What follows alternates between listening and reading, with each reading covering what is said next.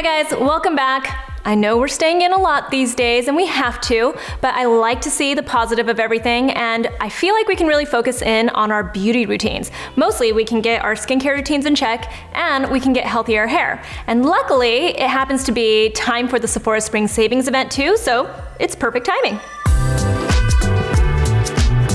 Before I get started, this video is sponsored by Sephora. If you're not a beauty insider already, you definitely should sign up, especially when they have big events like this. I'll leave a link below in the description box so you can learn a little bit more. All right, so first, let's talk about what makes up a good skincare routine. You need your cleansers, you need your actives, you need your moisturizers, and you need the treatments. And the treatments can also include products that protect your skin, like sunscreen. So we're gonna start with that, and then we'll get into some of the hair products that I've been using. So when it comes to cleansers, you know I'm a huge fan of the double cleanse and you know I already have some of my favorites when it comes to the first cleanse, but a lot of people aren't sure about the type of product to use for their second cleanse. So I wanna focus a little bit on that today. You can either go with something very gentle and basic that gets the rest of the grime and your first cleanse off of your face. I tend to like something that's more of a gel-based cleanser, something like this by Kate Somerville. It's their gentle daily wash. I really love the consistency of this. I feel like it removes everything. It's very light and it gives you a nice lather too. I like my, my second cleanse to be very, very basic. It does not strip your skin and it's very hydrating. But what a lot of people don't realize is the second cleanse can also be a time to treat your skin. One example is to use a cleanser like this one by the Inkey List. It's their salicylic acid cleanser and side note, I have started trying some of the Inkey List products so I can have some recommendations for you guys and this is one of them. I think people worry that maybe if their AHAs or their BHAs in this case are in their cleanser, it's just gonna get washed off their skin and it's not gonna actually do anything, but that's not the case. The real reason to use a cleanser with chemical exfoliators is because you can kind of control how strong it's gonna be on your skin. If you apply it and then rinse it off really quickly, you won't get as many of the actives working. But if you leave it on your skin while you say wash your body or rinse your hair, something like that, you can actually have it work a little bit longer and penetrate your skin a little bit longer. But once you rinse it off, it won't irritate your skin later. This one is great because it has a nice texture to it, it lathers nicely, and it has 2% salicylic acid in it, but it also has hydrators in it and it also has barrier strengthening ingredients in it as well. So it's a really nice, well-rounded and very affordable cleanser. So now I wanna talk about some other types of skincare products that I think should be included in a skincare routine. One of them is this one.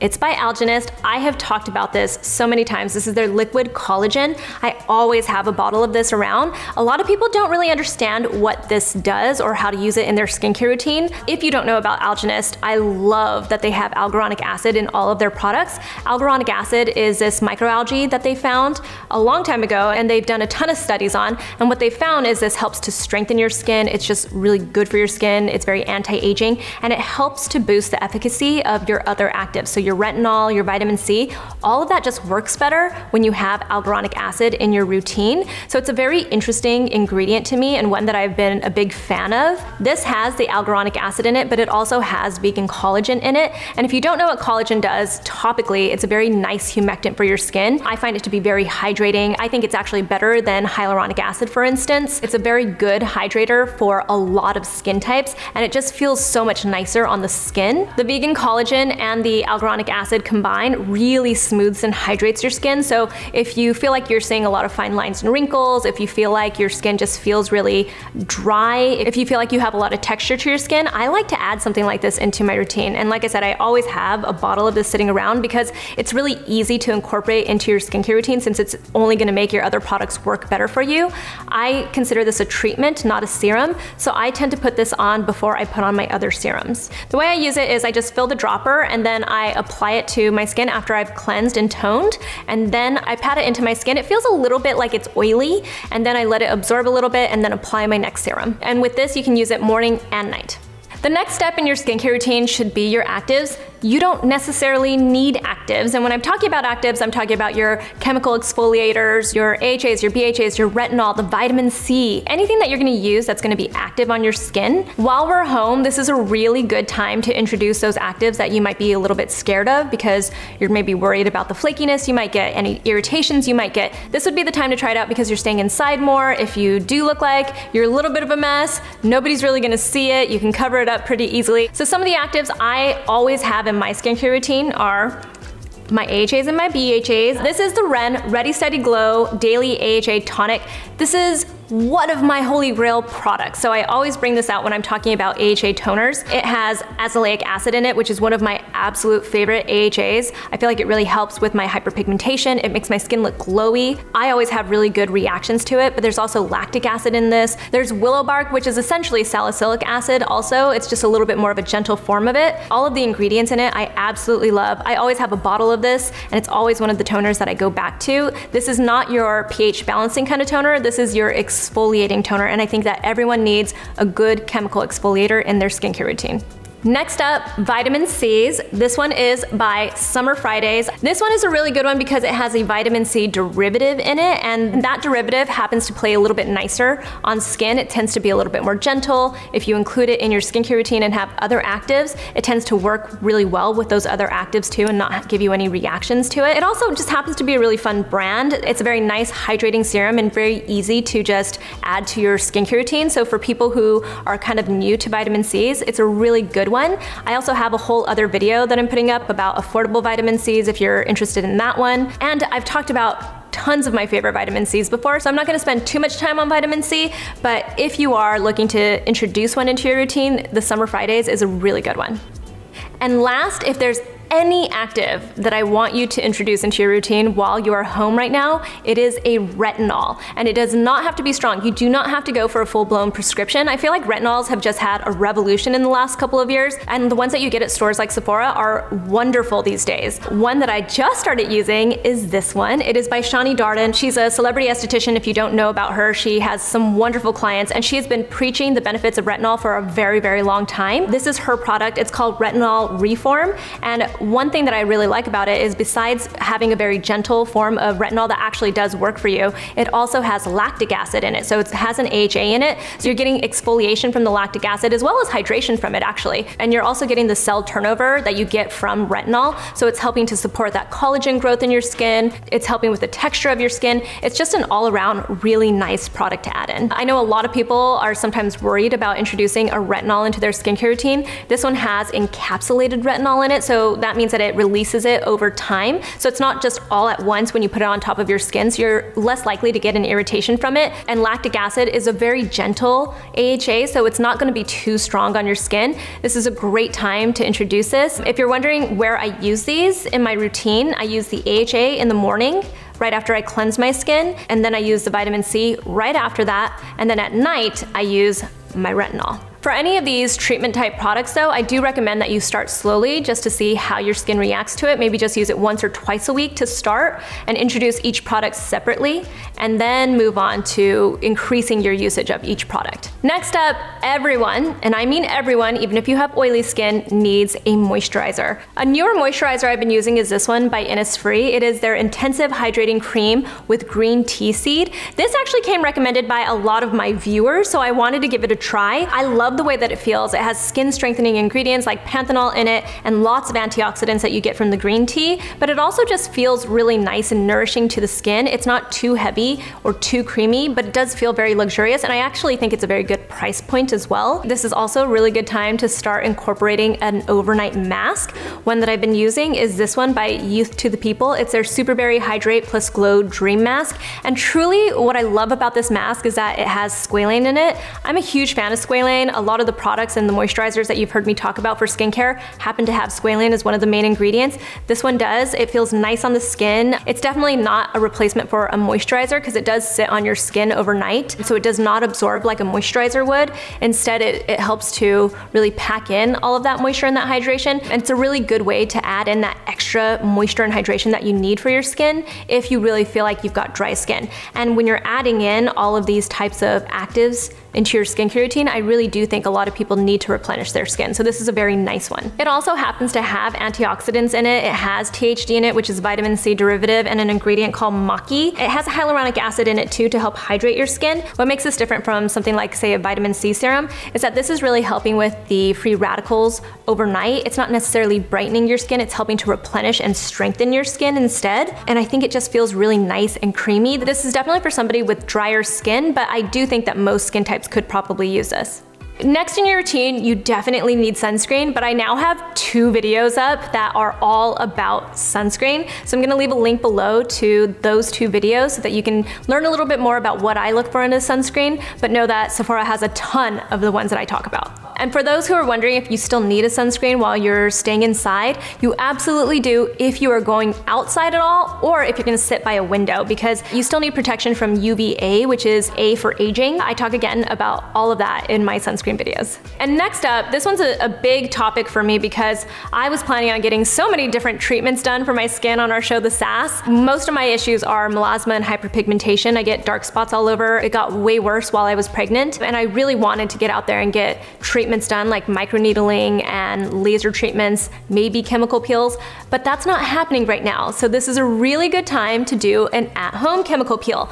And before you go out and start Googling chemical peels from shady places or trying to do one that's the strength of a chemical peel that you're gonna get at an esthetician or dermatologist's office, what I tend to look for is something that is made specifically for at-home use and made by a brand like this one, Obagi Clinical. If you don't know about Obagi, they have medical grade products and they're very good products, but they now have Obagi Clinical, which is sold at Sephora, and I really love the products that they have. This is one of their newest launches. It's called Blue Brilliance Triple Acid Peel. I'm a little bit nervous, I'm not gonna lie, about using this. I just got it. I'm gonna vlog my entire experience of using it. What I like about it is it has several usages in it, and you can use a vial every two weeks to really see those results. What a lot of people think happens with chemical peels is that they're gonna get a chemical peel done once and it's gonna get rid of all of their skin issues, but that's not true. A lot of the issues that you have that can be treated with a chemical peel are issues like dark spots that have kind of occurred over a long period of time. And so the way I like to tell people is it took a long time to get those dark spots, for instance.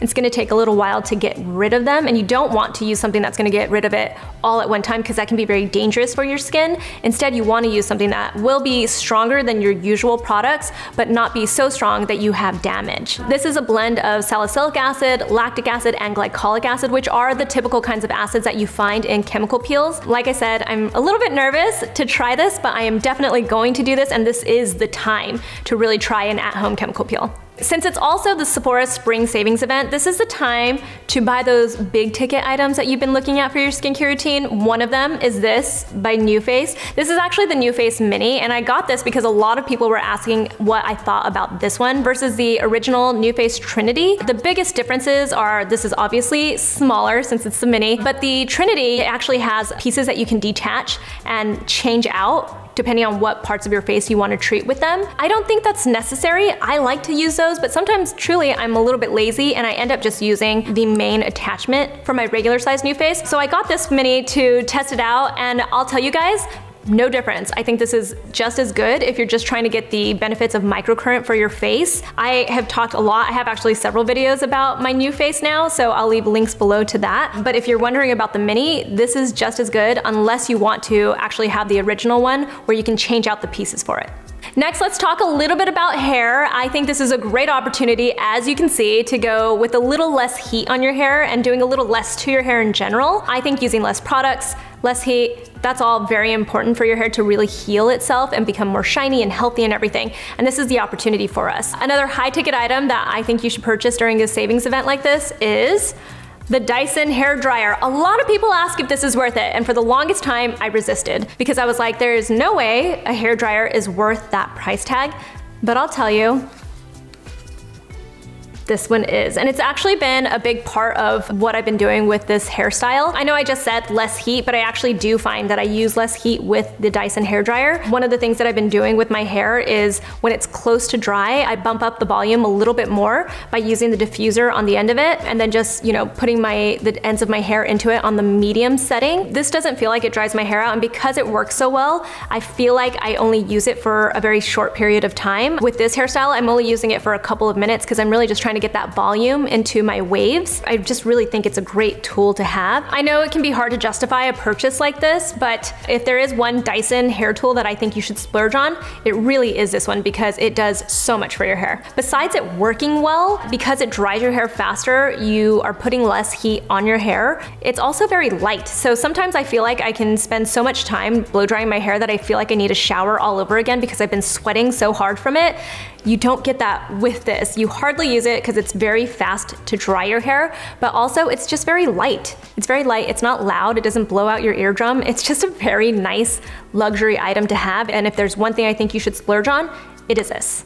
I'm still working on a tutorial for my hair. This is my natural hair texture. I have naturally wavy hair and it's very thick and it does get dry very easily. So one product that I have been using, and it's upside down right now because I've been squeezing the last bits of it out. I've talked about this. This is the Olaplex Hair Perfector number three. So many people have talked about this and it has such a huge cult following. And now that I have started to use it, I understand where people are coming from and why they love it so much. Like I said, I'm down to the last, probably the last bit that I'm gonna get out of this one before I have to get a new one. I think it's really important for people that have chemically processed hair, whether it's highlights or dyeing your hair or even a perm. People who have dry hair or thick hair should really have some kind of an at-home treatment for their hair that they use once a week. This one is that product. It's a bond builder. It helps to not only condition your hair, but actually strengthen the bonds of your hair. So you have to put it on damp hair. So I do that in the shower. I rinse my hair, squeeze out some of the water, and then I put this on to mostly the ends of my hair, and then I just do the rest of the stuff I'm gonna do in the shower before I get to my shampooing,